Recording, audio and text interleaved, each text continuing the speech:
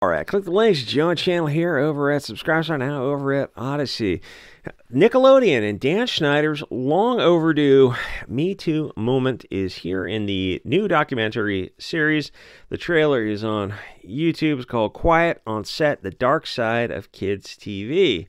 From the Nickelodeon series in the time period somewhere in the late 90s when he was on it for like 10 or 15 years. And he turned it into this billion dollar powerhouse. And, um, this documentary is going to talk about some of the other things that happen on kids shows. So he created the iconic kids series like iCarly, the Amanda Bynes show, Drake, and a bunch of stupid shows that. Um, I guess if they're from they're from like over 25 years ago, so which uh, to me just kind of feels like yesterday. But I realize it's like these shows are 30 years old now. They're doing the interviews with the the adults now who are kids in these shows, and they're they're old. I'm like, oh, I guess that wasn't just yesterday. It's like, wasn't the 90s? No, 90s was 30 years ago. But Schneider's success hit a myriad of allegations that range from a toxic work environment, well, welcome to Hollywood, to emotional abuse, to gender discrimination. What does that mean? Uh, was that a thing in the like even 10 years ago? Was that a thing? Even darker allegations were made against Nickelodeon regarding uh, those under the age of majority uh, involved with prurient uh, things, abuse, misconduct type of thing, and the employment of what is it, portable document files, or is it personal personal document files? The the uh, PD files at the network. Weird, weird that there's there's like no structure in place to to prevent that from happening. To like, yikes, my guy, we don't need police or order or structure. Just be like good people or like whatever. Yeah, but what happens when they're they're not good people? Listen, Hugo Boss. You know, the left are going to get everything they said they wanted, but it's the the bitch is it's going to happen to their kids and grandkids are going to have to deal with the consequences of that. stupid, stupid. Yikes, my guy. Just be a good person. You look at them like, what's the color of the sky in your? So what do you do with these types of people? Um, like educate them, educate them not to abuse kids. Uh, we just honestly we need to separate from these people. So four part series on Schneider's rise and fall, interviews the cast and co-workers employed during Schneider's reign on uh, YouTube. Quiet on set pulls back the curtain. Uh, all undeniable grip on popular culture. He was from Better Off Dead with John Cusack and probably in a couple other 80s movies, which were a lot of fun. Uh, creepy even back then, but um, much much more creepy uh, now. And there's a bunch of pictures you can you can image search uh, Dan Schneider um, PDF file, and there's a bunch of pictures of him hugging kids. You know, it's one thing if kids run up to you on set or something and hug you, and somebody's taking a picture. The, the kids are just hugging you. Okay, I mean, you know, but you're hugging them. It's like, why would you do that? why would you do that at all? Epstein.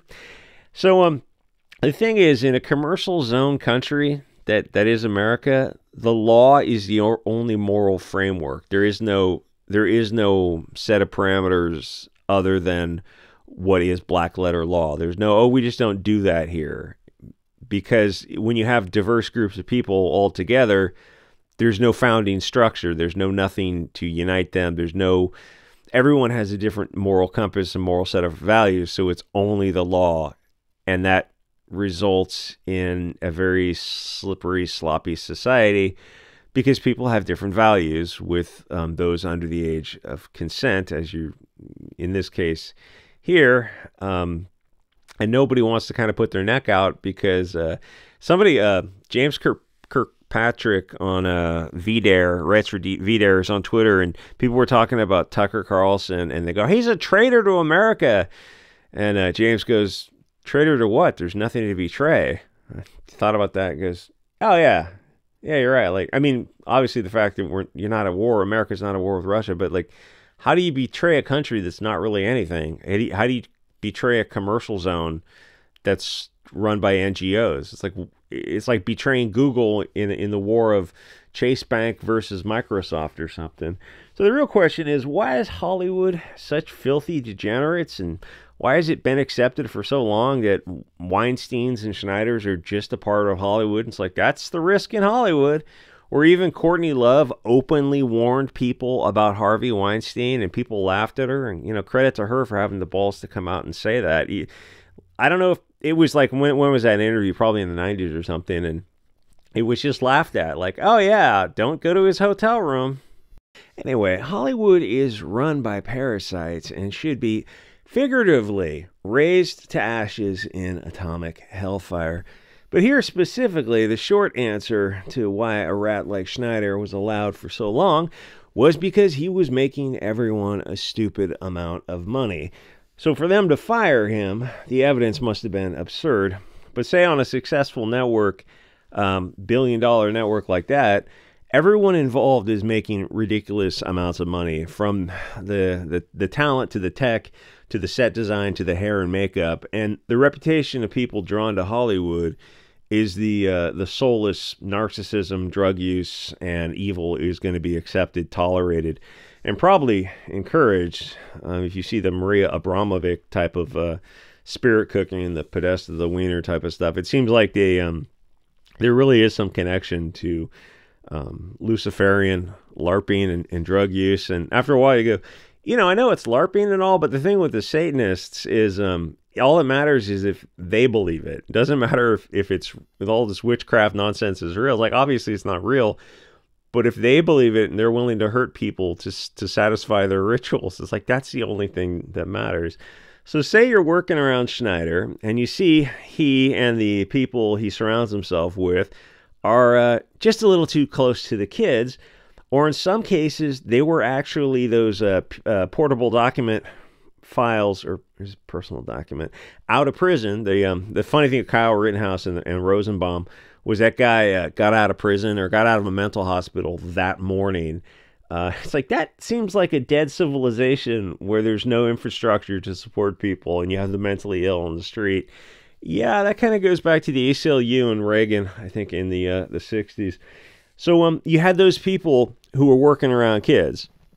Like, uh, you know, isn't there a law against that? I think later they enacted a law, um, which it seems like a lot of stuff this the nation does kind of reluctantly to to punish these uh, the Epstein types. Like, oh, if you twist our arm, I guess, I guess we'll okay, we'll pass a law, but you know, we definitely won't do any investigation. So the thing is, if they're um if they're there, then that means the whole system is rotten. You can't go to anyone within Hollywood because they're all these going to be these Weinstein types. You'd have to go to the FBI, and that's a big hurdle for people. So everyone there who sees the stuff in Hollywood, they just keep their mouth shut and they they just take the money. Then the thing is, there's no saving Hollywood. It's all of the mainstream, big screen and uh, streaming is all this kind of stuff. You'd have to create a parallel industry but would Larry Fink finance you if you made a degeneracy free alternative Hollywood? No, absolutely not. Not a chance. Hollywood is not the business that people say it is. And I know it sounds tinfoil hat, but eventually it's not going to sound tinfoil hat. Hollywood's a machine that pushes globalist, anti nation, anti natal, anti family, anti Christian, anti white propaganda. Hollywood is the future of the commercial zone America. There's no founding stock, no blood nation, no religion. All the old icons are uh, destroyed. There are no borders. All the museums have been either burned down or replaced with the the modern art. The you know the past is every year is year zero. Um, you guys only know that one book, 1984. Uh, we also know Animal Farm and Fahrenheit 451, Brave New World, and aren't those guidebooks? No, those were supposed to be warnings. Where it's all filth, crime, and degeneracy, Hollywood and the, the Weinsteins and the Schneiders are the distillation of economic zone America. And the. Is that? Oh, hopefully that's. Uh, hopefully that's. Uh, the Running Man movie with uh, Schwarzenegger, I think in the 80s or 90s, had what they humorously thought the future shows would be the bread and circuses to distract the cattle debt slaves from the dystopian present. Uh, idiocracy, too. And keep in mind, people sort of know this about Hollywood, and yet they still support Amazon, Netflix, and Disney. People are watching the Super Bowl right now. The same people who five years ago said they were done with it because the cattle have short memories. In a country that has an Epstein Island situation, and yet nobody other than three people, Maxwell Epstein and his partner, go to prison, and two out of three of those principals get murdered, and there's no further investigation, that's a country that's just an economic zone run by the ultra wealthy and powerful. They use Hollywood to distract the cattle debt slaves from the actual source of power, and they use the media to make sure that people are busy fighting among themselves. And Hollywood has the uh, they have unions, right? And you would think that they would use their I almost made the joke about the the film guild. They would use their power to protect people from the Schneiders and the Weinsteins, but oddly enough, they don't. They, I mean, they use their power to get themselves higher salaries and to do, you know, protest against the artificial intelligence who are writing the, these shows. Which, you know, the future Hollywood's probably going to be. Uh, to the if there's a future where you can make AI indistinguishable, then that that's just going to be the future. But um, oddly enough, they didn't they didn't use their guild to protect um, people from abuse. They just used it to to make sure that they were getting paid weird. Anyway, uh, like, comment, subscribe. The there's an uncensored version of this on Subscribestar and behind the Odysee uh, paywall because it's uh, really kind of tough to talk about these uh, this situation, you know, and make it acceptable for for YouTube. And credit to the filmmakers for for touching on this subject. And I'm thinking this ah, it's weird that Hollywood doesn't make more. Oh yeah, wait, you're, you, weird that Hollywood doesn't make more what shows about Hollywood's evil degeneracy yeah, who's gonna what? Who's gonna finance it? What networks are gonna distribute it? Are you saying Hollywood is just like pure evil? Yes. What was it? Time Bandits? Yes, this is pure concentrated evil. Anyway, uh, like, comment, subscribe. I'll see you guys all next episode.